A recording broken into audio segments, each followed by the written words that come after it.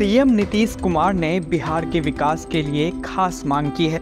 वे पर्यटन को बढ़ावा देकर राज्य को नई दिशा देना चाहते हैं। अब उनकी नज़र सीतामढ़ी ज़िले के पुनौरा धाम पर है, जो माता सीता की जन्मस्थली के रूप में प्रसिद्ध है। सीतामढ़ी ज़िले का पुनौरा धाम माता सीता के जन्म स्थान के रूप में पूरे देश में प्रसिद्ध है। यह स्थान माता सीता के भक्तों के लिए विशेष महत्व रखता है। लेकिन यहाँ के मंदिर और अन्य सुविधाएँ समय के अनुसार विकसित नहीं हो पाई हैं। इस कारण से कई भक्त इच्छा होते हुए भी माता सीता के जन्म स्थान के दर्शन नहीं कर पाते।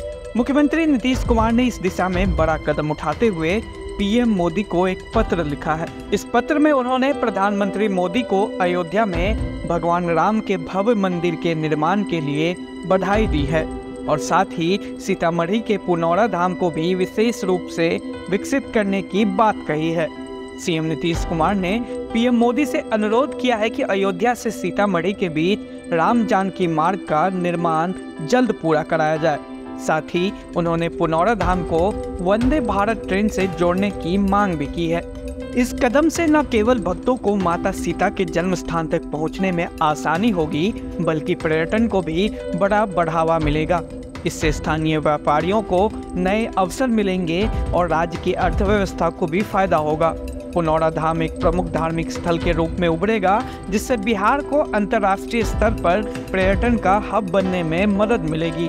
सड़क और रेल मार्ग से पुनौरा धाम को जोड़ने के बाद यहाँ पर भक्तों की संख्या में भारी वृद्धि होगी। भक्त माता सीता के बचपन से जुड़ी कहानियों को जान सकेंगे और धार्मिक पर्यटन को भी बढ़ावा मिलेगा। नीतीश कुमार का यह कदम सीतामढ़ी और पूरे बिहार को एक नई पहचान दिलाने की ओर बढ़ रहा है। नीतीश कुमार की यह योजना न केवल बिहार के लिए, बल्कि पूरे देश के लिए एक महत्वपूर्ण कदम साबित हो सकती है। अगर राम जानकी मार्ग और वंदे भारत ट्रेन से पुनौरा धाम को जोड़ा जाता है तो यह स्थल धार्मिक पर्यटन का प्रमुख केंद्र बन सकता है। इससे न केवल भक्तों को माता सीता के दर्शन का अवसर मिलेगा, बल्कि बिहार के विकास में भी बड़ा योगदान होगा।